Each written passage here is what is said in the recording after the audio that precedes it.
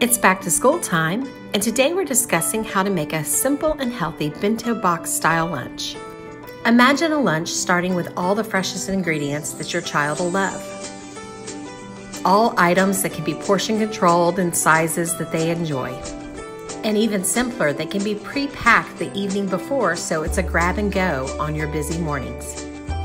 Traditionally, the word bento comes from Japanese cuisine, meaning single portion while today it usually symbolizes convenience with a variety of several types of foods.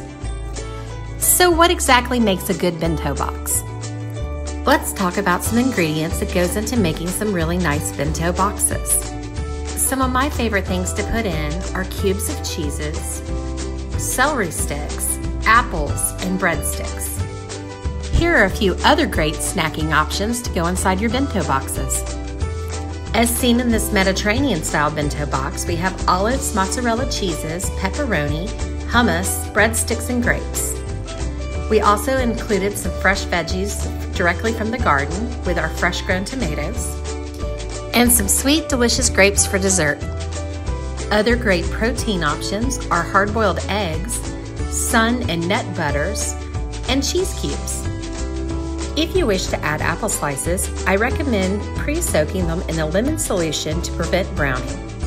Please keep in mind with nut allergies, some schools prohibit nut butters and nuts within bento boxes. As you can see, the possibilities are endless. It's all up to your imagination and what you enjoy. Pack ahead the night before to save time in the mornings. Make it easy on you. For more information, you can visit our website at www.jenrondesigns.com.